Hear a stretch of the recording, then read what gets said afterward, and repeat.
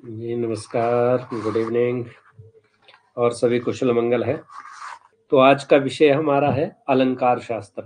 अलंकारों की यहाँ दोनों तरह की बातें करेंगे, जो काव्य प्रकाश के अनुसार है शब्द अलंकार या अर्थ अलंकार दोनों पे हम बात करेंगे। यद्यपि हम सारे अलंकारों को नहीं पढ़ेंगे, आपको एक परिचय कराया जाएगा, बेसिक परिचय, कि जो अलंकार है, काव्य प्रकाश में कितना का वर्णन हुआ है, कितनों का नहीं हुआ है, किस तरह की चर्चा हुई है ये सारी चीज़ें बहुत अच्छा है। तो उतने ही हम बात करेंगे। यदि आपको उससे अधिक जानना है तो वो भी मुझे टेक्स्ट पे बता देना मैसेज पे बता देना, है ना? ये काव्य प्रकाश के अनुसार हमने गुणों की बात की थी, है ना? उनके स्थायी भावों की बात की तो स्थायी भाव भी हमारे नौ होते हैं और गुण भी नौ होते हैं। वो सारी हमारी चर्चा हो गई। गुण नहीं, रस। गुण तो तीन प्रकार के, क्षमा चाहूँगा। रस भी हमारे नौ है और स्थायी भाव भी नौ प्रकार के, वो हम कल की कक्षा में बात कर चुके हैं। अब आती है बातें कि ये अलंकार कितने तो इसके पीछे का हमारे प्रस्तावना से लेकर हम चर्चा करेंगे।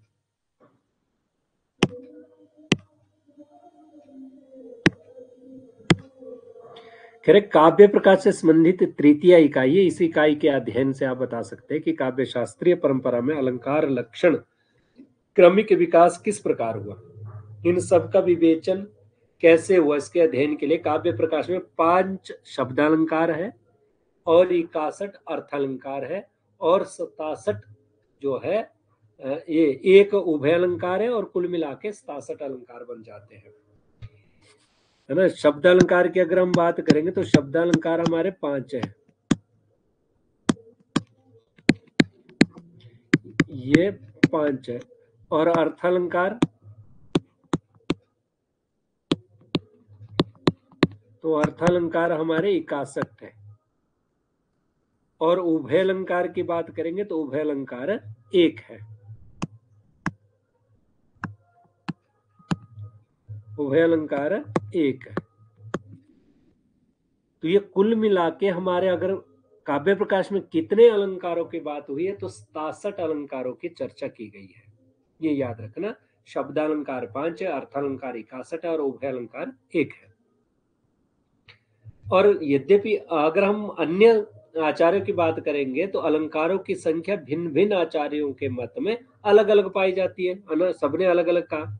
फिर भरत के नाट्य शास्त्र में उपमा, रूपक, दीपक तथा यमक केवल चार ही तरह के अलंकारों का वर्णन है।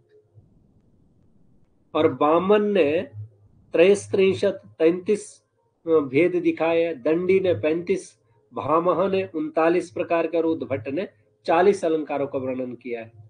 और रुद्रट ने काव्य अलंकार में है ना, बावन काव्य अलंकारों को तथा काव्य प्रकाशकार ने सतासठ का वर्णन किया है।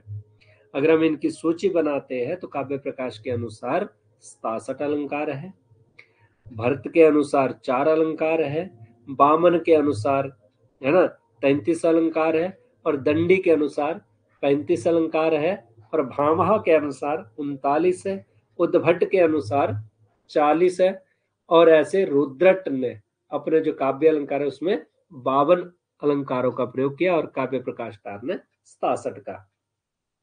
तो ये हमारे मतलब अलंकारों का अगर हमने जानना है तो स्वरूप आपको समझ में आ गया कि सभी आचार्यों के मत में अलंकार भिन्न भिन्न है। स्पष्टम?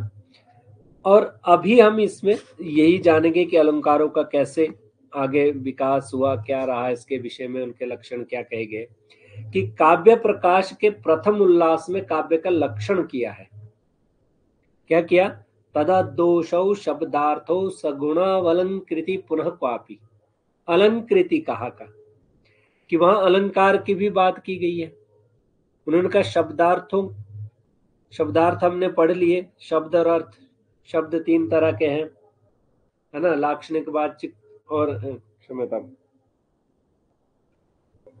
मस्तिष्क से निकल रहा है, मुझे शब्दों के भेद आ जाएगा, या तो मैं आपको बताता हूँ। तो तीन तरह के शब्द है, तीन ही तरह के उनके अर्थ है और तीन ही तरह के शब्दों की शक्तियाँ हैं, जैसे अभिधा, लक्षण और व्यंजना। है ना? ऐसे ही हाँ वाच्यार्थ, लक्ष्यार्थ और व्यंग्यार्थ, ऐसे वाचक, लाक्षणिक और व्यंजक तीन तरह के शब्द होते हैं। तीन तरह के शब्द, शब्दार्थों की हमने बात कर चुके हम पहले भी। तो अब इसके बाद आती है अलंकारों की बात। तो भाई अलंकार क्या है? तो अलंकारों में हमने कहा कि तीन तरह के अलंकार होते हैं शब्द अलंकार अर्थालंकार और एक जो शब्द और अर्थ दोनों का समावेश जिसमें रहे। तो उनकी बात करेंगे तो तीन तरह के भेद बताए गए अलंकारों के। जो अलंकार शब्द परिवृत्य सह होते हैं परिवृत्य में होते हैं मतलब जहाँ शब्दों से हमें अलंकार का पता लगता है तो उसको कहते हैं शब्द अलंकार मतलब किन्हीं विशेष शब्दों के रहने पर ही अलंकार जहाँ पे स्फुट हो जाए, पता लग जाए कि यहाँ ये अलंकार है। जैसे एक उदाहरण आप लोगों ने पढ़ा होगा, लता कुंजम कुंजम। लता कुंजम गुंजन मद बदली पुंजम चपलयन। जहाँ एक ही शब्द का पुनः पुनः आवृत्ति होना तो वहाँ पे अलंकार होता है, इसको शब्द अलंकार कहेंगे। और उन विशेष शब्दों को बदलकर यदि उस, उनके स्थान पर, उनके पर्यायवाची दूसरे शब्द रख दिए जाए तो उन अलंकारों की स्थिति नहीं रहती है। मतलब वो अलंकार वहाँ पे नहीं होगा। शब्दों का अगर भेद हो जाएगा तो वो शब्द अलंकार फिर नहीं रहेगा। वे अलंकार उन विशेष शब्दों के ही आश्रित होने से शब्द अलंकार कहे जाते हैं ना? जो अलंकार शब्द परिवृत्ति सह होते हैं, अर्थात यदि उन उन शब्दों का परिवर्तन करके उनके समानार्थक दूसरे शब्द प्रयुक्त कर दिए जाए तो भी अलंकारों को कोई हानि नहीं होती है। वे अलंकार शब्द आश्रित न हो करके अर्थ पर आश्रित होते हैं। तो उनको कहते हैं अर्थालंकार। मतलब जहाँ शब्दों को देखा जाए, उसको शब्द अलंकार कहेंगे। जहाँ अर्थ देखा जाए, अर्थ में चाहे शब्द, उसी के तत्सम शब्द कोई भी आ जाए। जैसे यथा मैं कहूँगा, शिशु। बाल डिम्ब तीन शब्द है अलग अलग अर्थ में। मतलब है ये ही अर्थ में शिशु के लिए प्रयोग में लाया जाएगा। हमने शिशु का प्रयोग किया हो, या बालह का प्रयोग किया है, या डिम्ब का किया है तो अर्थ तीनों का एक है तो ये अर्थालंकार में यहाँ कोई भेद नहीं आएगा। यदि शब्दालंकार में शिशु शब्द है तो शिशु शब्द को हम अगर बालह कर देंगे तो वहाँ परिवर्तन हो जाएगा तो फिर अर्थालंकार शब्दालंकार उसमें नहीं रहेगा। तो इसलिए अर्थ अलंकार कहेंगे तो नवम उल्लास में ही अर्थालंकारों की, सारी जो अलंकारों की बात करेंगे, नौवे और दसवें अलंकार दसवें उल्लास में, काव्य प्रकाशकार ने इनकी चर्चा की है। वक्रोक्ति, अनुप्रास, यमक, श्लेष, चित्र, ये पाँच अलंकार है। और छठा जो पुनरुक्त वदाभास नामक उभय अलंकार है, जिसमें दोनों है, शब्द भी है और अर्थ अलंकार भी दोनों में रहता है। तो दशमोल्लास में केवल मात्र अर्थालंकारों की बात की गई है। अगर हम इसी की पुस्तक में देखेंगे तो नवम उल्लास में नवम उल्लास में हमारे पास है शब्द अलंकार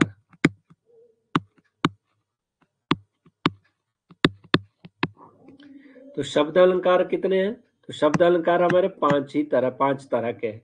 और पाँच तरह के कौन कौन से हैं? वक्रोक्ति, अनुप्रास, यमक, श्लेष, चित्र। ये पाँच अलंकार है, जिनको शब्द अलंकार कहा जाता है। और छठा भी इसी में आता उभय अलंकार उभय अलंकार के भी नवम उल्लास में ही चर्चा की गई है। उसका नाम है पुनरुक्त वदाभास। है ना? तो ये और दसवें, जो हमारा दसवा उल्लास है, दशम उल्लास में जितने भी अर्थालंकार है और इकासठ अर्थालंकार है। इकासठ के इकासठ अर्थालंकारों का वहाँ पे निरूपण किया गया है। अलंकारों की संख्या के विषय में मैंने कहा कि मतभेद है है ना? इस पर काव्य प्रकाश कार ने भी पाँच शब्द अलंकार माने, इकासठ अर्थालंकार माने और एक उभय अलंकार माना। कुल मिलाकर ये होते सतासठ अलंकार।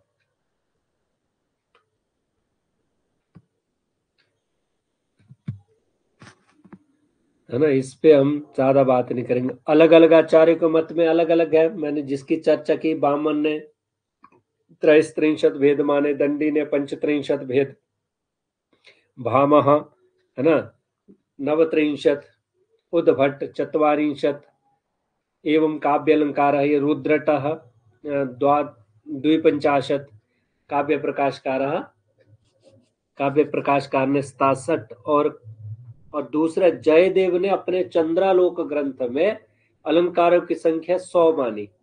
और अप्य दीक्षित ने कुबलयानंद एक ग्रंथ है, उसमें 124 मानी। तो इस प्रकार इन्होंने चर्चा की गई है। तो इनका निम्नलिखित रूप से हम वर्णन कर रहे हैं, भी कौन कौन से अलंकार है। तो एक तो ऊपर श्लोकों में याद रखना, ये ज़्यादा, है ना, सरल हो जाता है, अधिक सरल हो जाता है कि सामान्य रूप से हमें श्लोकों में ही विषय याद रखने चाहिए।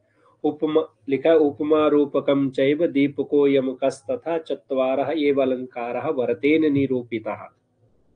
वे भरत मुनिना कति अलंकार निरूपिता? चत्वार यदि स्मृत न स्यात् तरी श्लोकेन एव एकेन एव श्लोकेन तत्स्मर्तुं शक्यते। यथा उपमा रूपकम चैव दीपको यमकस तथा चारों के नाम दिए उपमा अलंकार, रूपक अलंकार, दीपक अलंकार और यमक अलंकार। ये ते चत्वारः एव अलङ्कारः केन उचितं कृते चत्वारः एव अलङ्काराः भरतेन निरूपिताः। ये भरताचार्य ने, है ना, अपने जो उनका भरतनाट्य में उसमें चार अलंकारों का वर्णन किया। कह रहे बामनेन त्रयस्त्रिंशत भेदस्तस्य निरूपिता। पंचत्रिंशत द्विपंचाशत दंडिना प्रतिपादिता। वे बामनेन कति? त्रयस्त्रिंशत भेदा और पंचत्रिंशत भेद केन?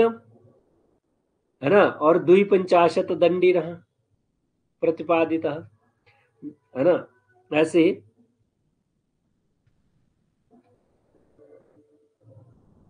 यहाँ थोड़ा इसमें अशुद्ध हो गया यहाँ पे लिखने में। नवत्रिंशत है। नवत्रिंशत द्विश है ना द्विचादया भामेन प्रकृतिता। चतवारिशत द्विधश्चैव उद्भटेन प्रकृतिता। तो इस तरह करके इनके नाम दिए भी किसने कितने माने हैं तो ये भी याद रख सकते पर श्लोक में जहाँ जहाँ श होना था, वहाँ पे श हुआ है। मतलब अस्य स्थाने अत्र शकार अस्ति ये जब पीडीएफ करते तो पीडीएफ में परिवर्तित तो हो जाते तो ये ध्यान रखना आपने। सप्तष्टि विधा मतलब यहाँ उल्टा हुआ है। इसके स्थान पे ये हुआ है और इसके जो शाह जहाँ शाह होना था वहाँ शाह हुआ है। ये कुर्ती देव के कारण ऐसा होता है। अब काव्य अलंकार काव्य प्रकाशकार ने इकासठ अर्थालंकार माने। और दस में उस पे उल्लास पे उनका वर्णन किया तो कौन कौन से है? तो उनके नाम यहाँ दिए। उपमा, अन, अनवय, उपमेय उपमा, उत्प्रेक्षा, संदेह, रूपक अपनुति श्लेष, समासोक्ति, निदर्शन, है ना? ये सारे इस तरह करके उन्होंने इकासठ अलंकारों का वर्णन किया। ये आप सूची याद रखना। ऐसे तो आपको प्रश्न यदि पूछा जाएगा तो पूछेंगे। काव्य प्रकाश कारेण दशमे उल्लासे है ना कति। अलंकाराणाम वर्णनम कृतम या काव्य प्रकाशे अर्थालंकार कति? या काव्य प्रकाशे शब्दालंकार कति? है ना? शब्दालंक या पूछा जाएगा, एतेषु कह शब्दालंकार या एतेषु कह उभय अलंकार एतेषु कह अर्थालंकार तो इस प्रकार आपको प्रश्न पूछा जा सकता है। है ना? बहुत सारे प्रश्न हो सकते हैं कि वामन में कितने अलंकार है तो इस तरह की चर्चा यहाँ की जा सकती है। अब अलंकारों के वर्गीकरण की बात आई। कि अलंकार सर्वस्व। तो ये कह रहे निर्माता रूप्य है? बारहवीं शताब्दी का है। सतासठ अलंकारों का प्रतिपादन किया। रचना शैली के आधार पर सात मुख्य भागों में उनका, है ना, समस्त अलंकारों का वर्गीकरण किया गया इनमें प्रथम वर्ग के फिर चार अवान्तर भेद दिए गए हैं। किस प्रकार अलंकारों की अगर संख्या करेंगे, छह चार दस वर्ग बन जाते हैं। उनके नाम और उनके अंतर्गत अलंकारों की संख्या किस प्रकार है, वो बनाया गया सादृश्य मूलक अलंकार, ये कह रहे कि सादृश्य मूलक अलंकार कितने? चार प्लस छ प्लस दो प्लस सत्रह तो कुल मिला के उनतीस, है ना? ये आते हैं। ये कैसे ही आप आगे समझेंगे। अभेदा भेद प्रधान चार है, आ का दिया ये क्रम बताया गया है ना। आरोप मूलक अभेद प्रधान छ है, अध्यवसाय मूलक अभेद प्रधान दो है गम्य औप्य मूलक अलंकार सत्रह है। तो ऐसे करके इनके सादृश्य मूलक अलंकारों की अगर हम बात करेंगे तो इसमें विरोध मूलक अलंकार है श्रृंखला बंध मूलक अलंकार है है ना। तर्क न्याय मूलक अलंकार है, बाक न्याय मूलक अलंकार है, लोक न्याय मूलक अलंकार है, गूढ़ार्थ प्रतीति मूलक अलंकार है, सादृश्य अतिरिक्त मूलक अलंकार है, कुल मिला के अठतीस हो जाते, इस प्रकार ये सतासठ अलंकार है हम्म। तो सादृश्य मूलक अलंकारों की बात की कि जो भेदा भेद प्रधान की बात की कि कौन से है तो इसमें उपमा, उपमेय उपमा अनवय, अनन्वय और स्मरण। ये कारिका जो दी है, कारिका तीन, कारिका दो, कारिका बावन, ये कारिका की संख्या दी गई है इनकी। अब आरोप मूलक अभेद प्रधान जो छह अलंकार है कौन कौन से आते हैं उसमें? रूपक परिणाम परिणाम, ससंदेह, भ्रांतिमान, उल्लेख, अपनहुति और अध्यवसाय मूलक अभेद, दो प्रकार के उत्प्रेक्षा और अतिशयोक्ति। और गम्य औप्यम, है ना? औप्यम औप्यम्यामिश्रित सादृश्य मूलक अलंकार सत्रह है तो इनके नाम दिए गए तुल्य तुल्योगिता, दीपक प्रतिवस्तुपमा दृष्टांत, निदर्शना, व्यतिरेक, सहोक्ति, विनोक्ति, स्मासोक्ति, परिकर, परिकरांकुर, श्लेष तो इस तरह करके इनकी चर्चा की गई है। ये आपको पढ़ने के लिए छोड़ देते ही आपको नोट्स अपलोड हो जाएँगे तो नोट्स उसे आप देख सकते हैं। तो इसमें हमने देखा कि इसमें केवल मात्रा अभी तक हमने इतना समझा कि अलंकार कैसे कैसे है, अलंकारों को कितने भेद है, किस आचार्य ने कौन से माने और काव्य प्रकाश में कुल अलंकारों की संख्या कितनी है। कि काव्य प्रकाशकार ने पाँच तरह के शब्द अलंकार माने और इक्यासठ अर्थ अलंकार माने और एक उभय अलंकार माना, कुल मिला के हो गए सतासठ अलंकार। भरत मुनि के नाट्य शास्त्र में उपमा, रूपक, दीपक, यमक, केवल चार तरह के अलंकार का वर्णन हुआ। बामन ने त्रयस्त्रिंशत भेद बताए, दंडी ने पंचत्रिंशत भेद कहे, भामह ने नवत्रिंशत, उद्भट चतवारिशत रुद्रट ने जो अपने उसमें काव्य अलंकार में, उन्होंने द्विपंचाशत काव्य प्रकाशकार ने सप्तष्टी तो ऐसे कहे तो ये चर्चा हुई है। अब देखो। वे अलंकारों का मतलब क्या है? तो काव्य प्रकाशकार ने उल्लास में कहा, अलंकृति पुनः क्वापी। ये जो मैंने कहा कि तद दोषौ शब्दार्थ सगुण अलंकृति पुनः क्वापी। ये वहाँ हमारे काव्य प्रकाश में जो लक्षण पड़ा काव्य का, उसमें कहा, अलंकृति पुनः क्वापी। शब्दार्थों का एक विशेषण दिया गया, इससे समझने के लिए अलंकारों का निरूपण करना आवश्यक है। इसलिए इस इकाई में हम यही चर्चा कर रहे हैं, अलंकार क्या है, उनकी चर्चा करेंगे। अब शब्द अलंकार का परिचय लेते कि शब्द अलंकार होते क्या है।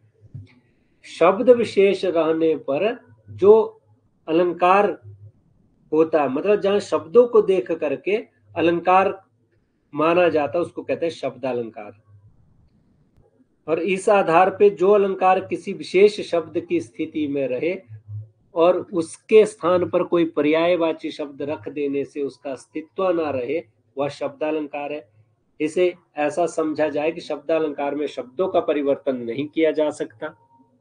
या शब्दों को परिवर्तित करते ही अलंकार तो समाप्त हो जाता है। ये अलंकार शब्द पर आश्रित होने से शाब्दिक चमत्कार के विशेष रूप से अभिवृद्धि करते हैं। और काव्यार्थ को सुंदर शैली में व्यक्त करने में सहायक है।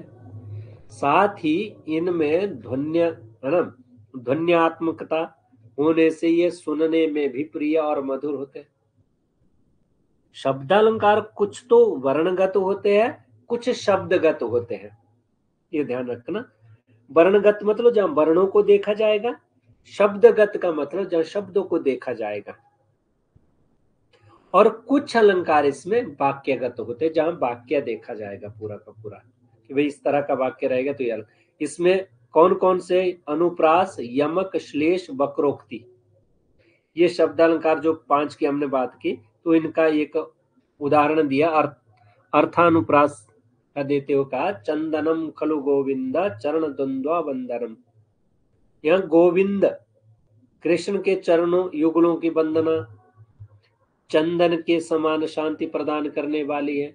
यहाँ बंदन और चंदन क्रमशः उपमेय और उपमान है।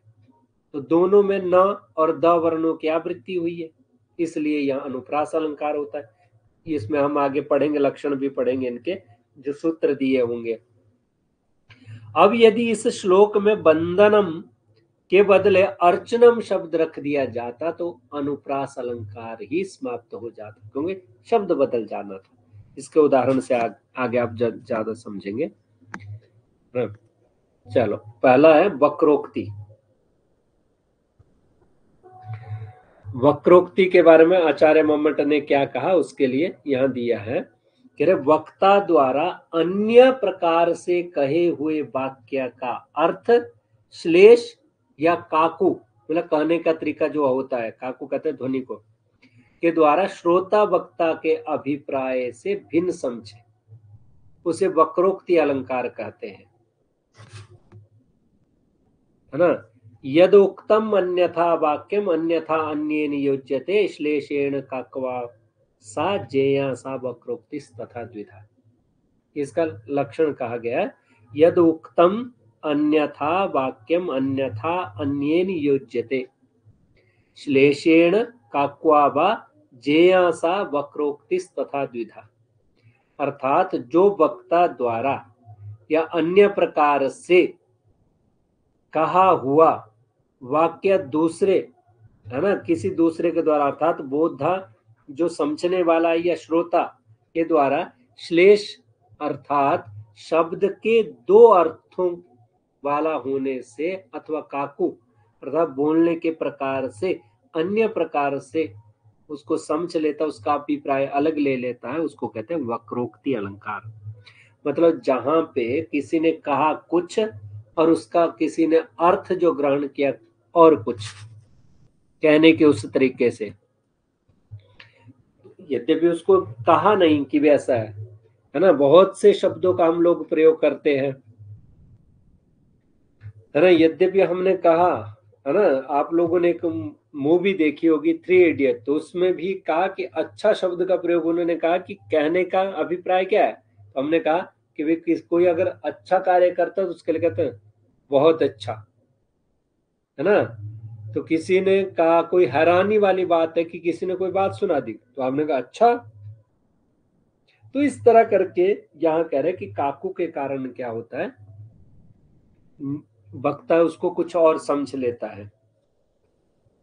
अब वक्रोक्ति अलंकार जहाँ वाक्य में वक्रता आ जाए, जहाँ अर्थ में वक्रता आ जाए, उसी को कहते हैं। ये दो प्रकार का होता है सभंग और एक, ये कहते हैं श्लेष वक्रोक्ति और काकु वक्रोक्ति, दो तरह का होता है। श्लेष वक्रोक्ति के भी दो भेद हो जाते हैं, सभंग श्लेष वक्रोक्ति और अभंग श्लेष वक्रोक्ति।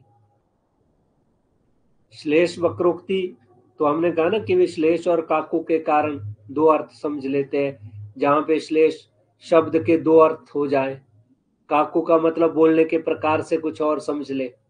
तो ऐसे सभंग श्लेष क्या होता है? जहाँ शब्द को संधि विच्छेद या समास विग्रह के द्वारा तोड़कर वक्ता के अभिप्राय से भिन्न अर्थ लिया जाए, है ना? इसके लिए निम्नलिखित श्लोक में काव्य प्रकाश ने उद्धृत किया है। क्या लिखा है? नारीणाम अनुकूलम। क्या लिखा है? नारीणाम अनुकूलम आचरसी।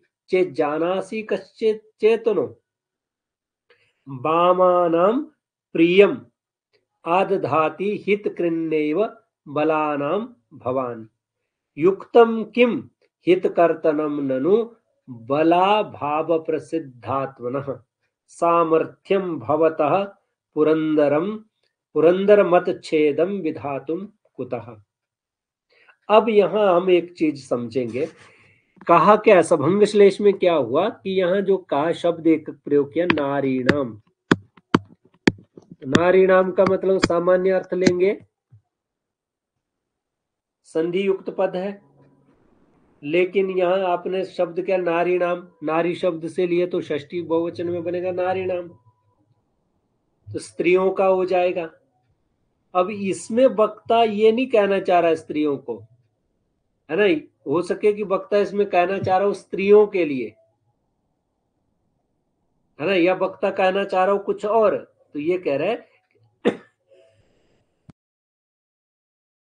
देखो, अगर हम इसको संधि विच्छेद करके बात करेंगे तो हो जाएगा न अरिणाम।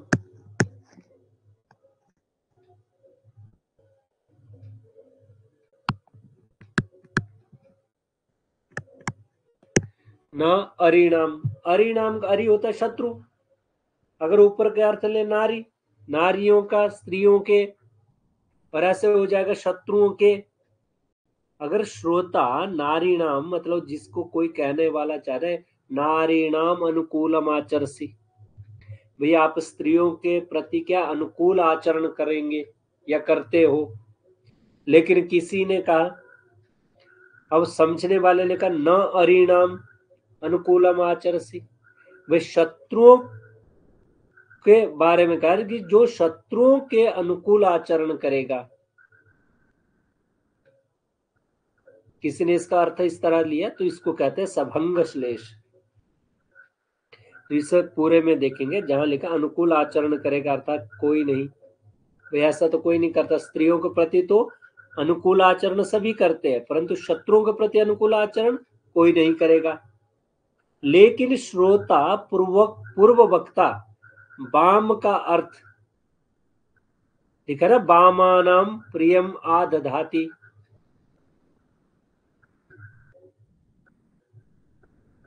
अब बामानम अब बामानम का, अब देखेंगे, बाम का अर्थ होता है, शत्रु ना लेकर स्त्री लेता है। है ना? बाम और बामा, दोनों षष्ठी विभक्ति के बहुवचन के रूप बनते हैं। तो बामानाम कोई बुद्धिमान व्यक्ति इसका कह रहे स्त्रियों के शासन में रहना पसंद करेगा। तो इस तरह भी तो ये बहुत सी बातें यहाँ लिखी गई है। भाई ऐसा जहाँ पे हम क्या करते हैं, अलग से अर्थ लेते हैं, करेगा। भाई कोई नहीं, ये कह रहा कि नारिणाम अनुकूलम आचरसी। तो उन्होंने कहा कि कोई शत्रुओं के प्रति अनुकूल आचरण नहीं करेगा। फिर कह रहे क्या बामा नाम प्रियम आदधाती। तो इसका बामा नाम का भी प्रयोग क्या चाहे बाम शब्द भी स्त्री के लिए भी प्रयोग में लाया जाता है और शत्रु के लिए भी। कह रहे जो शत्रु के अनुकूल आचरण करता है तो कह रहे, कोई नहीं। या फिर उनके हित में नहीं, हित कृण्यव अबला नाम भवान। तो अबला नाम का मतलब होता है निर्बल, अबला स्त्री के लिए भी प्रयोग किया जाता है। तो इस तरह करके यहाँ अर्थ हो जाएगा, जो निर्मल, है ना, निर्बलों का या दुर्बलों के हितों का नाश करने वाले नहीं हो।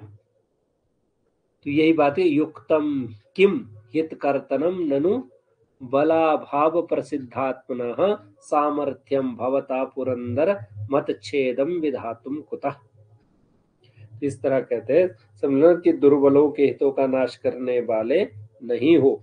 उत्तर देते हैं कि क्या बात करते हो, निर्बलों के हित का विनाश करना क्या उचित है? अर्थात बिल्कुल भी नहीं है। तो लेकिन इसका जो श्रोता या पूर्व वक्ता ने यहाँ बला भाव का अर्थ बल के अभाव वाला निर्बल न लेकर के बल नामक असुर को जीतने वाला इंद्र लेकर समझता है। क्या देवराज इंद्र के हित का विनाश करना उचित है? अर्थात नहीं है। तो इस तरह करके इन्होंने कहा कि जहाँ पे हम लोग अर्थ अलग ले लेते हैं संधि के कारण या समास के कारण। दूसरा है अभंग श्लेष ऊपर वाला तो आया था सभंग श्लेष सभंग श्लेष में क्या होता है? जहाँ शब्द को संधि विच्छेद या समास विग्रह के द्वारा तोड़कर वक्ता के अभिप्राय को भिन्न अर्थ में लिया जाता है, उसको कहते हैं सभंग श्लेष और दूसरा है अभंग श्लेष तो अभंग श्लेष में क्या होता वक्रोक्ति में संधि विच्छेद या समास विग्रह पद को बिना अलग किए वक्ता के अभिप्राय से भिन्न अर्थ समझा लिया जाता है। संधि विच्छेद या समास विग्रह के पद को बिना अलग किए, जहाँ करना चाहिए था वहाँ नहीं करना, जहाँ नहीं करना चाहिए था वहाँ करना। तो इसको समझ ले, जैसे अहो के निदृशी बुद्धि दारुणा तब निर्मिता त्रिगुणा श्रूयते बुद्धिर न दारुमयी क्वचित। अब ये श्लोक का सामान्य अर्थ, अहो केन ईदृशी बुद्धि दारुणा तब निर्मिता। है ना? अब कह रहे कि अहो भाई आश्चर्य की बात है, केन किसके द्वारा? ये जो आपकी बुद्धि, दारुणा मतलब कठोर बुद्धि जो है, किसने बनाई है? अब इसमें तृतीय विभक्ति का प्रयोग है तो दारुणा का अर्थ यहाँ पे किससे लिया गया है? लकड़ी का लिया दारू शब्द पुलिंग के लिए भी काष्ट के लिए भी प्रयोग किया जाता है। आप लोगों ने एक समास भी पढ़ा होगा, युप दारू, तद हित, है ना? वाला वहाँ आता तद हित सुख बलि रक्षित ही। चतुर्थी बहुब्री समास का है ये। तो इस प्रकार यहाँ के त्रिगुणा श्रूयते बुद्धिर न तू दारूमयी क्वचित। भाई किसने तुम्हारी ऐसी दारुण निर्दय या कठोर बुद्धि बनाई है? है ना? जिसमें क्या तीन गुणों से बनी हुई बुद्धि तो सुनी जाती है, पर काष्ट से बनी हुई बुद्धि नहीं सुनी जाती है। अब इसका एक तो अर्थ हो गया कि तुम्हारी ये जो बुद्धि किसने निर्मित की है? है ना? तीन गुण तीन गुण, तीन तरह के गुण सत्व गुण रजोगुण और तमोगुण। या फिर इसके दूसरे अगर गुण लेने हैं तो दूसरे गुण कौन से हुए? बुद्धि के गुण तो वही है, सत्व रजस्तम तमस। कह रहे, तीन गुणों से बनी हुई बुद्धि तो सुनी जाती है, पर लकड़ी से बनी हुई बुद्धि हमने कभी सुनी नहीं है। इस उदाहरण में बिना संधि विच्छेद या समास विग्रह किए दारुणा पद का वक्ता से अभिप्राय भिन्न अर्थ काट से निर्मित श्रोता ने ले लिया। इसमें अभंग श्लेष अलंकार हो गया। अब अभंग श्लेष करे, काकु वक्रोक्ति, भिन्न कंठ ध्वनि धीरे ही काकुर इत्यविधीयते जहाँ कंठ ध्वनि में परिवर्तन से अर्थ समझने वाली स्थिति को काकु वक्रोक्ति कहा जाता है। गुरु जन परतंत्रतया दूरतरम देशमुद्यतो गंतुम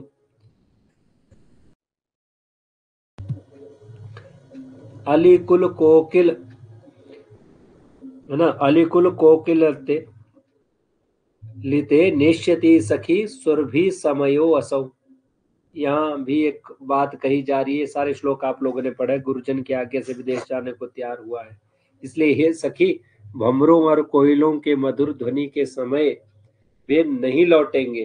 तो यहाँ नायिका द्वारा अपनी सखी को बात कही जा रही कर दूसरे वाक्य को सहेली यूँ कहना चाह रही है अली कुल कोकिल ललिते नेश्यति सखी सुर भी समय असो।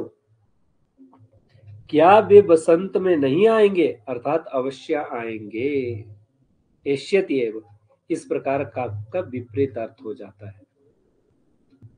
तो इस तरह करके इनके भेद हो जाएँगे। तो ये सारी बातें हैं कि हमने कहा कि वक्रोक्ति है वक्रोक्ति के दो भेद कर दिए हमने है ना?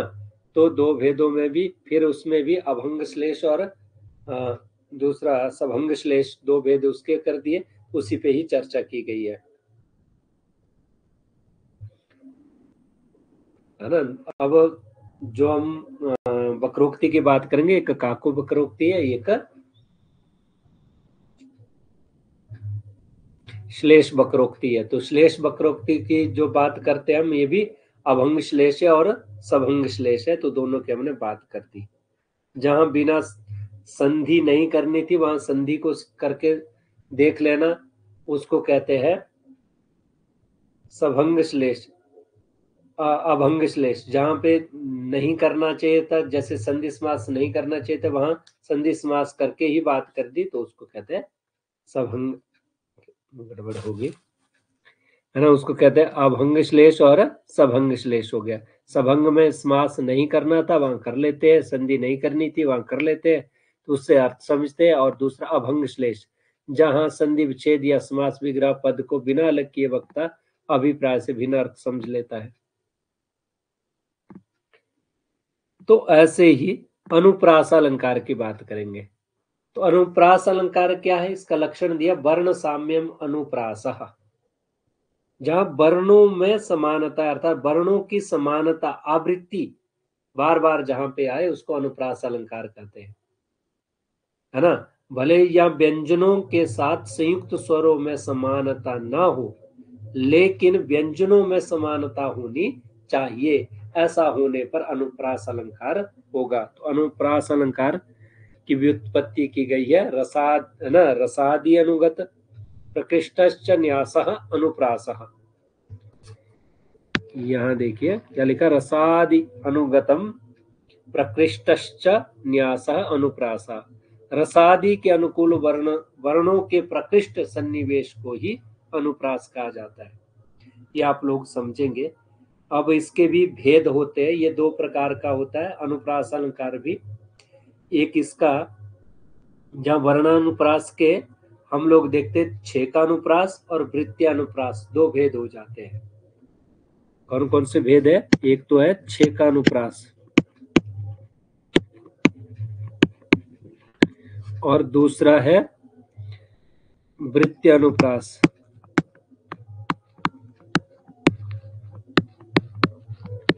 दो भेद है इसके।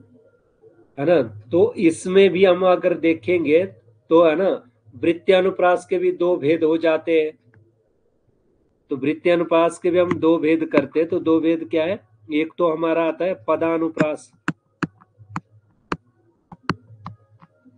और दूसरा आता है लाटानुप्रास।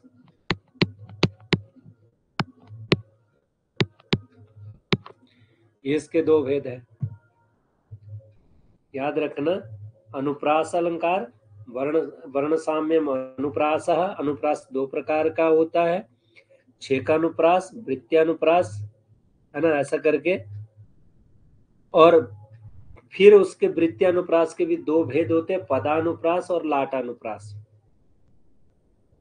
है ना तो लाटानुप्रास के भी उसमें अनेक पदों की आवृत्ति और एक पद की आवृत्ति, एक समास में आवृत्ति और भिन्न समास में आवृत्ति और समास तथा असमास दोनों में आवृत्ति, इस तरह करके लाटानुप्रास के भी पाँच भेद हो जाते हैं। लाटानुप्रास कितने प्रकार का है?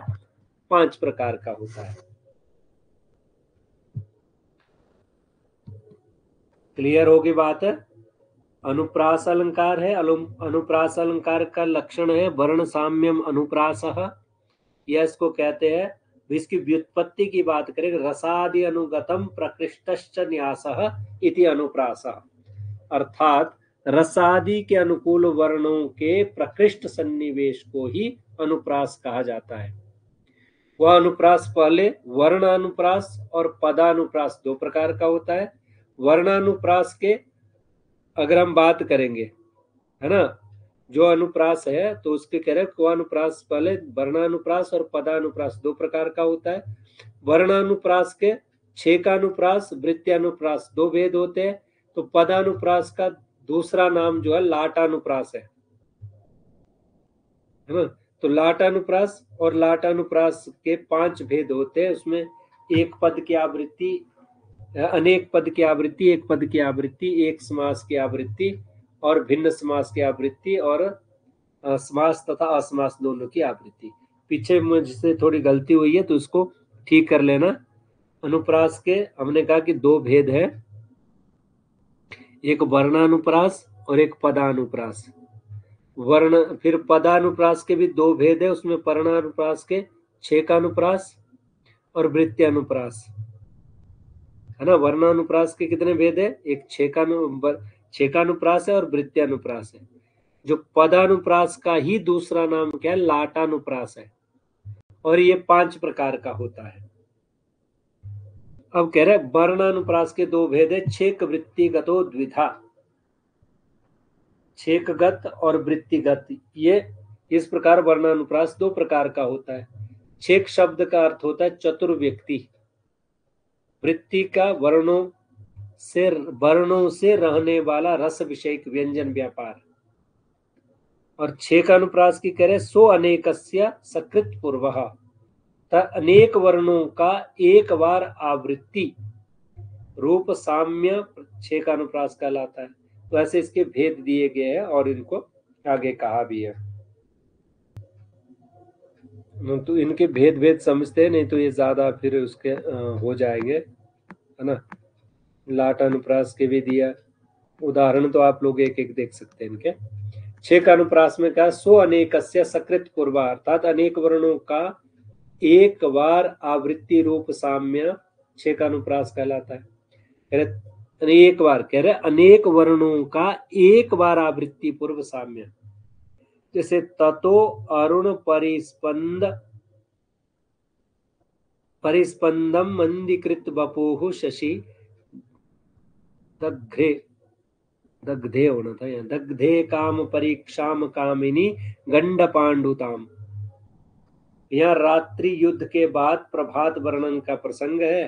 तब प्रातः काल के समय सूर्य के सारथी अरुण के गतिशील होने से मलिन स्वरूप वाला चंद्रमा काम के उपभोग से दुर्बल कामनी के कपोल स्थल के समान स्फेद हो गया है। ये कह रहे जब सूर्य उदित होता है तो क्या होता है, चंद्रमा का जो चमक है, वो फीकी पड़ जाती है। तो इसी तरह कह रहे काम में कोई दग्ध स्त्री है तो उसका भी उसके कारण क्या हो रहा है? चेहरा जो है, बिल्कुल काला पड़ गया है।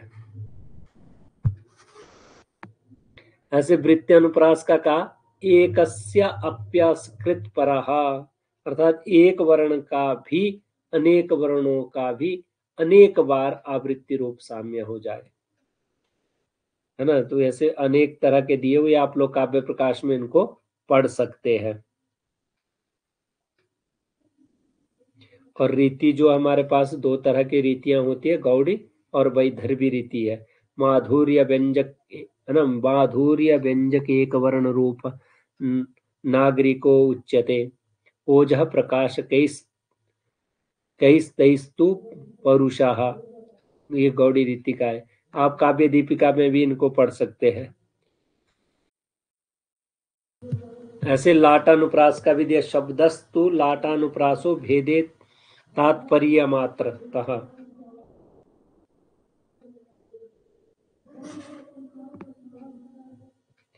है ना? यस्या न सविधे दयता दव दहन दहनस्तुहीन